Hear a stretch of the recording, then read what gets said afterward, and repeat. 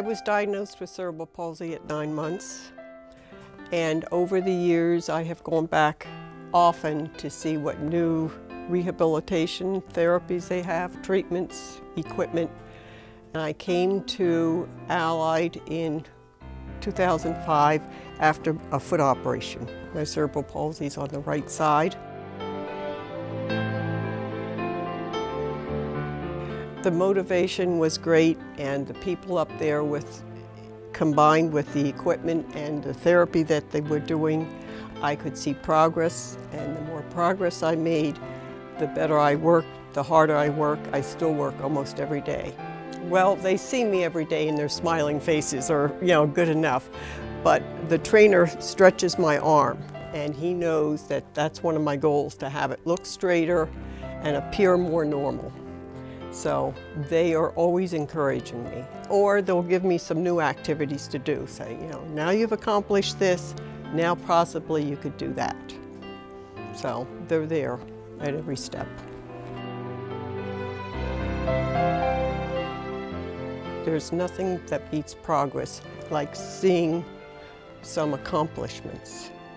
And that's, you know, where I have found Allied to be. They're behind you, they're there if you have questions. You can call them and say, if this isn't right, what do I do next? But I have never found anyone in the whole system that has not been exceptional and willing to help in any capacity.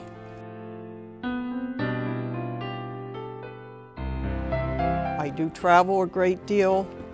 I don't, you know, put down any kind of challenge, so I have climbed high places. I have gone up on canopies, I've walked on swinging bridges, um, climbed mountains with my brother. I never realized how much time I spent one-handed doing activities. And now you can, you know, hold things, you can, you know, turn things, doorknobs. I would have to put things down. I would crinkle papers. I can, you know, put them all together and staple them together, that kind of thing. And those are the things that are time consuming. If you only just go, they are pleasant, they are skillful, they are knowledgeable, and I have, you know, had much success.